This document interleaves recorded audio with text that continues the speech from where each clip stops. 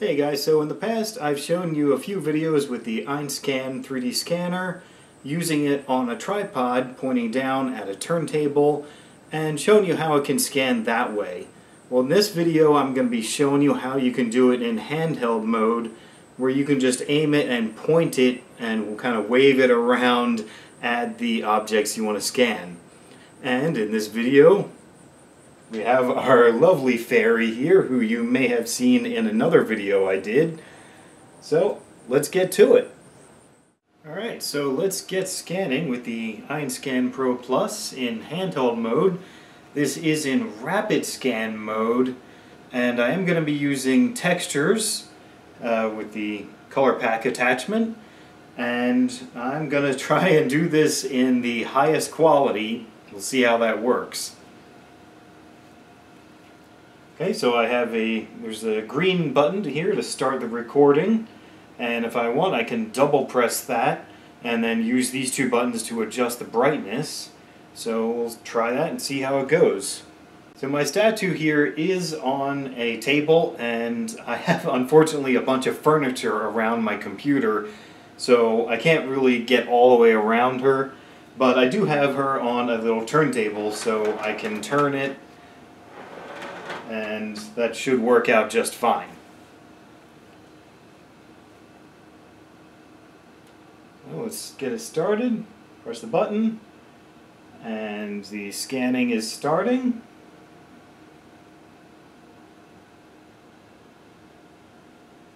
And it really does go very fast. trying to keep that uh, mark on the left close to, as close to the middle as I can. If you pull too far away, it goes to the top, and if you get too close, it goes to the bottom. And if you go way off, you'll get a doorbell sound, which can be kind of irritating. So you want to try to avoid that. Okay. Getting the top of her head.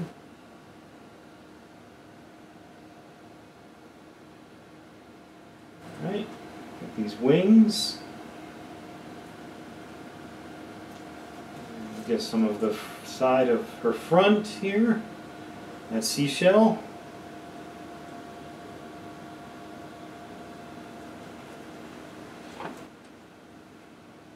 Okay, so that's pretty much all I can get here. Maybe a little bit over here.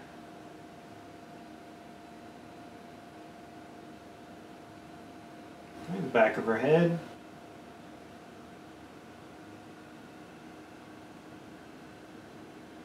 Okay, so as I mentioned, she's on that turntable, so I don't even have to stop scanning. I can really just turn her around. Uh, I'm just trying to make sure I point down low when I turn from up above so I don't get my hand in the scan. And it'll actually just keep scanning as I turn it. I'm getting a little bit of my table there. Okay. I'm trying to get this wing. Just trying to get the top.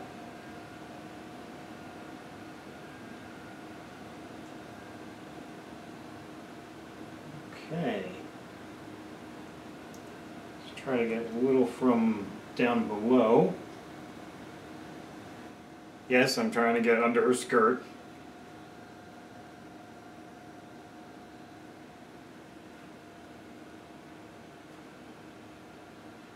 Okay, let's turn her a little bit more. And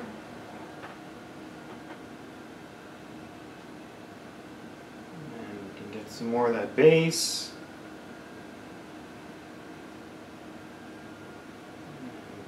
Her front, her face.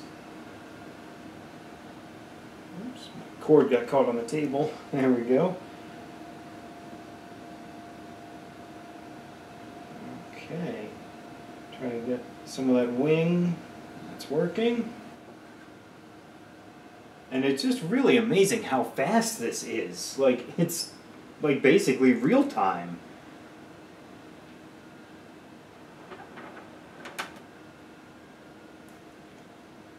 Alright, make sure I'm getting close enough. Trying to see past her wings at the computer screen. Okay. Make sure I get that arm. Side of her face.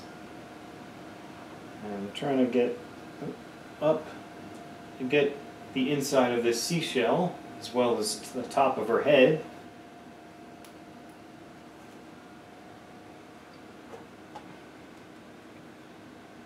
Again, try to get the upskirt. Nothing dirty. Just trying to scan. Okay, let's rotate around a little bit more.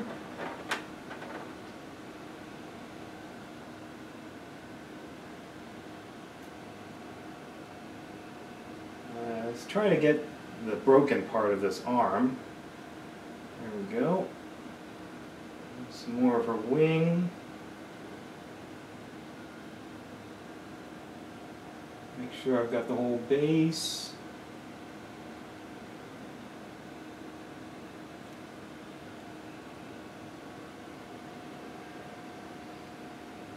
And yeah, that's looking pretty good.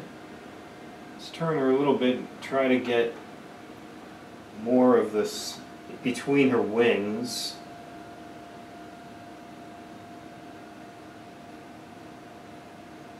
Okay. There go. I think I see the back of her arm needs it.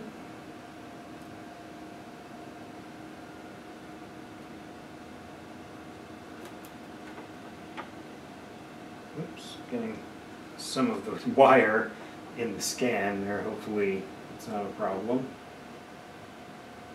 I think the bottom of this seashell needs a little bit of attention. So you really want to make sure you get it from all angles. Try to keeping the best distance.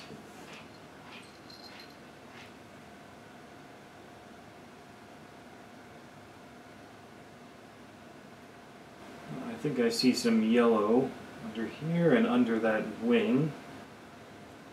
Let's see. Oops, I lost it. Okay, and I think we're back. Pull down a little bit, a little too close.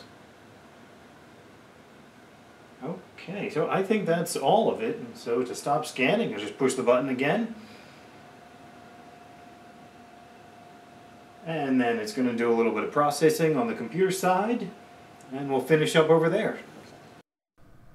Okay, so it's done processing, at least uh, that part of the processing. And overall looks pretty good. I see there are a few little spots that I missed. I could very easily just go back in and get those spots, but for the sake of this video, we'll just leave them the way they are.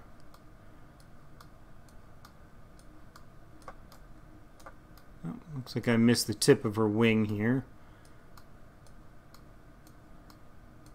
It should be alright. So let's click this checkbox. Oh, wait, let's... Uh, I've got a little bit of the table down here, so let's get rid of that. So I'll just hold Shift and drag around to select it.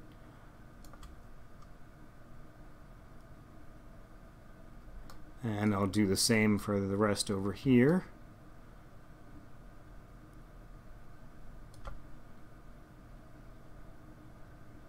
And once that turns red, I'll just hit the trash can icon to delete it. Okay, that looks good. And I'll just click here on the big green check mark. And yes, I want to continue. And it'll do a little bit more processing here. Okay, so it finished that processing. And we can see it doesn't really look that much different. But I can tell you there's a couple steps left. And that is to, as it says over here, generate a point cloud. And so that'll uh, fill in some of the areas that have larger holes, uh, such as up here, and maybe that wing. And so once that's done, we'll hit this button to create a mesh from it. And we can create it as watertight or not watertight. But I'll tell you right now, on my computer with 16 gigabytes of RAM, that's not enough to handle the entire statue. From my earlier tests, it actually stopped and gave me an error and wouldn't finish. So what I did was I did basically this, and then I cut off half of the statue and processed that, saved it out as a solid mesh with it was watertight, and then I did the whole thing again and cut off and did the other half. And then I brought the two into 3D Coat to put the two pieces together. So here we are in 3D Coat, uh, and I have my two fairy parts loaded for that I had saved earlier. And let's look at here is the here is the bottom part. Uh, yep, it all looks pretty good. And then we also have the top. And these did actually load in some strange positions. They were not center, they were rotated oddly. So I did have to kind of fiddle with them to get them in the right position. But otherwise, I think it looks pretty good. I'm really happy with how it came out. I did spend a little bit more time on this scan than I did with the scan you watched me do a moment ago. But I think it looks pretty good.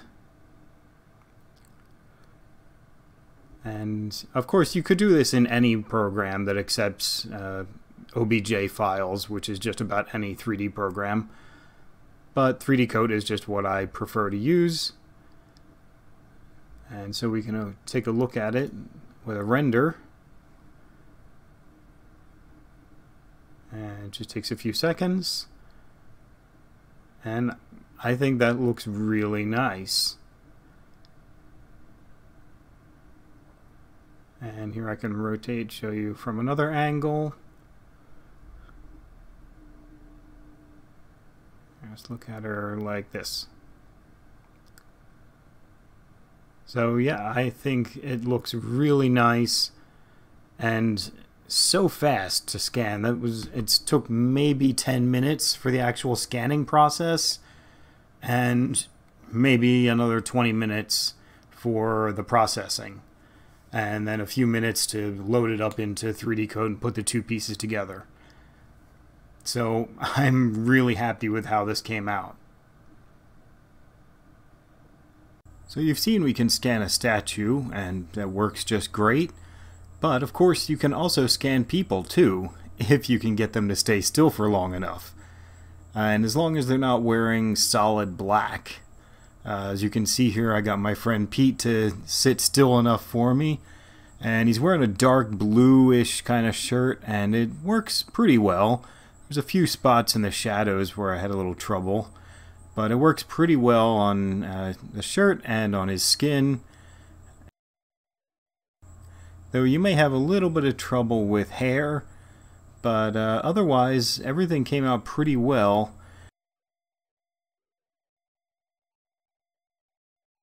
Even though he's blinking, uh, it still scanned his eyes just fine. He did have one complaint though that the lights flashing in his face were very bright.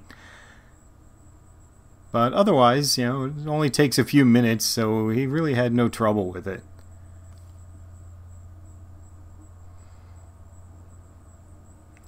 And just like the statue, you do want to make sure you get everything you can underneath the chin and you know every different angle you possibly can.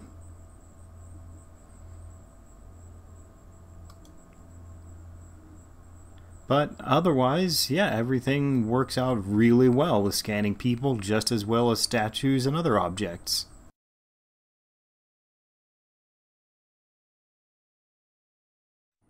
So if you liked this video and you learned something, please be sure to hit that like button, make a comment below, be sure to subscribe, and I will see you next time.